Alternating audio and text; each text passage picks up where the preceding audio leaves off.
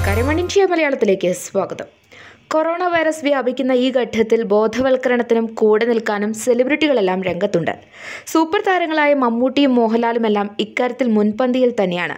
കഴിഞ്ഞ ദിവസം മമ്മൂട്ടി ഫേസ്ബുക്കിൽ കുറിച്ച ചില വരികൾ കേരളം മുഴുവൻ ഏറ്റെടുത്തിരുന്നു. ദിവസക്കൂലിക്കാരായ സാധാരണ മനുഷ്യരും നമുക്ക് ചുറ്റുമുണ്ടെന്ന് ഓർമ്മിപ്പിക്കുകയായിരുന്നു മമ്മൂട്ടി. നമ്മുടെ കരുതൽ അവർക്ക് കൂടിയാകണമെന്നായിരുന്നു മമ്മൂട്ടി ഓർമ്മിപ്പിച്ചത്. ഇതേക്കുറിച്ച് സന്ദീപ് ദാസ് എഴുതിയ കുറിപ്പും ഇപ്പോൾ വൈറലാണ്. സന്ദീപ് ചെറുപ്പത്തിൽ വെറുക്കാൻ ശ്രമിച്ച ആളായിരുന്നത്രേ മമ്മൂട്ടി. എന്നാൽ ഇപ്പോൾ മമ്മൂട്ടിയോട് സ്നേഹവും ആദരവും മാത്രമേ ഉള്ളൂ എന്നാണ് ഇദ്ദേഹം പറയുന്നത്.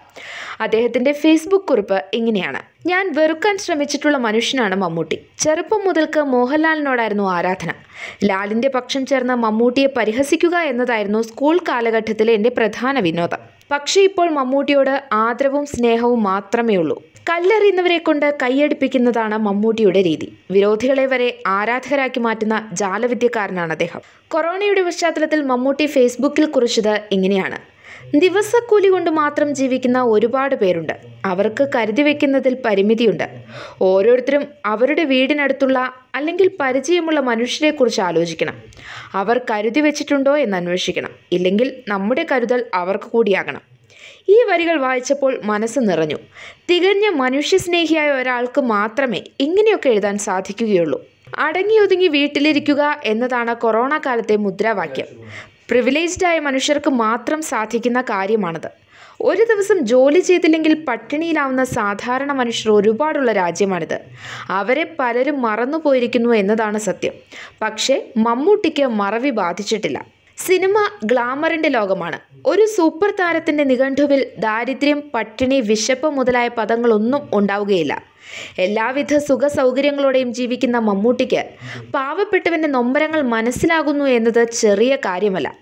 പലർക്കും അതിന് സാധിക്കാറില്ല. കോവിഡ് നയന്റീൻ സർവവും നശിപ്പിച്ച് മുന്നേറുന്ന സമയത്ത് രജനീകാന്തും അമിതാഭ് ബച്ചനുമെല്ലാം പ്രദാനം ചെയ്തത് നിരാശ മാത്രമാണ്. ജനതാ കർഫ്യൂവിനെക്കുറിച്ച് തെറ്റായ വിവരങ്ങൾ പ്രചരിപ്പിച്ച രജനീകാന്തിന്റെ വീഡിയോ ട്വിറ്റർ നീക്കം ചെയ്യുകയുണ്ടായി. ട്വിറ്ററിലൂടെ അശാസ്ത്രീയത വിളമ്പിയ ബച്ചന് അവസാനം അത് ഡിലീറ്റ് ചെയ്യേണ്ടി വന്നു. ഇവിടെയാണ് മമ്മൂട്ടിയുടെ പ്രസക്തി. അദ്ദേഹം തെറ്റായ കാര്യങ്ങൾ പ്രചരിപ്പിച്ച് നാടിനെ ദ്രോഹിക്കുന്നില്ല.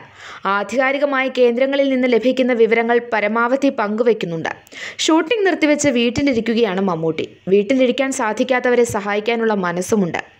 കരുതൽ നിരീക്ഷണം വ്യക്തി സ്വാതന്ത്ര്യത്തെ ഹനിക്കുമെന്ന് അഭിപ്രായപ്പെട്ട അഭിനേതാക്കളുണ്ട്.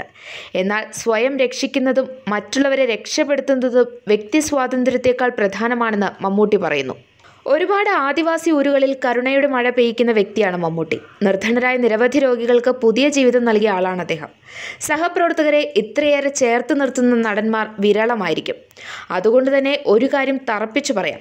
ദിവസവേതനം കൊണ്ട് ജീവിക്കുന്ന പാവം മനുഷ്യരെക്കുറിച്ച് മമ്മൂട്ടി എഴുതിയിട്ടുണ്ടെങ്കിൽ അവർക്ക് വേണ്ട സഹായങ്ങളും അദ്ദേഹം ചെയ്തു കഴിഞ്ഞിട്ടുണ്ടാവും. ഒഴിഞ്ഞ പാത്രങ്ങളിൽ അന്നം എത്തിയിട്ടുണ്ടാവും. കുറച്ച് കുടുംബങ്ങളെങ്കിലും ഇപ്പോൾ സമാധാനത്തോടെ ഉറങ്ങുന്നുണ്ടാവും.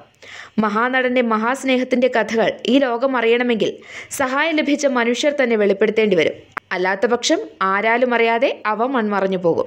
മമ്മൂട്ടിക്ക് അതിൽ പരാതി ഉണ്ടാകില്ല. മമ്മൂട്ടിക്ക് തുല്യം മമ്മൂട്ടി മാത്രം. ഇതായിരുന്നു അദ്ദേഹത്തിന്റെ ഫേസ്ബുക്ക് പോസ്റ്റ്. കൂടുതൽ വാർത്തകൾക്കായി വൺ ഇന്ത്യ മലയാളം സന്ദർശിക്കൂ സബ്സ്ക്രൈബ് ചെയ്യൂ.